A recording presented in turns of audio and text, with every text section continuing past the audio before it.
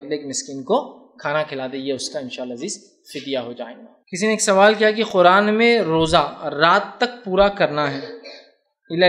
یعنی رات تک۔ تو پھر ہم مغرب پر کیسے روزہ کھولتے ہیں؟ دن کے چار حصے ہوتے، اشراق، مغرب، دن اور رات۔ کسی نے سوال کیا کہ قرآن نے کہا کہ روزہ رات تک رکھنا ہے؟ تو پھر ہم روزہ مغرب میں کیوں کھولتے ہیں؟ دیکھیے، یہ جو آپ نے اصطلاح دی، اشراق، مغرب، دن اور رات، یہ اشراق اور مغرب، یہ وقت کے پیمانے اور حصے ہیں، ٹھیک؟ لیکن دن صرف دو ہی حصوں میں تقسیم ہوتا ہے۔ مطلب جو آپ نے لکھا وہ اس کی اس کی مثال ایسی ہے۔ دن، رات، سورج نکلتے وقت اور سورج ڈوبتے وقت۔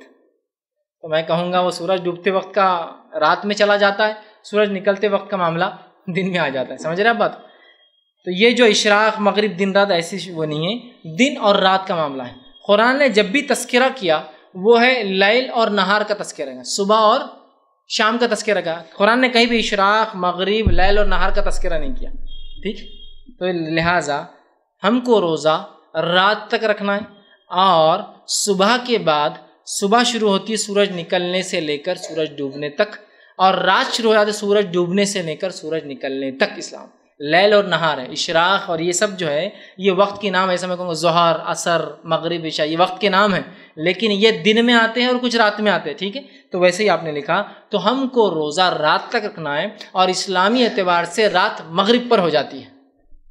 یہ مغرب پر ہو جاتی ہے؟ ٹھیک اکثر ایسی اصطلاحات ایسی اصطلاحات رات تک رکنا ہے، یا تو شیعہ حضرات کرتے ہیں۔ یہ یہ تو مغرب ہے، رات مطلب غروب پورا ہونے کے بعد۔